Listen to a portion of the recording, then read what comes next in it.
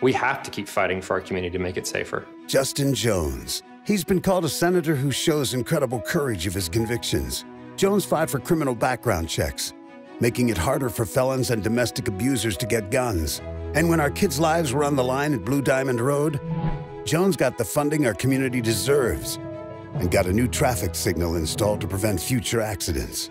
There's nothing more important than keeping our own kids safe. Justin Jones, protecting what we value most.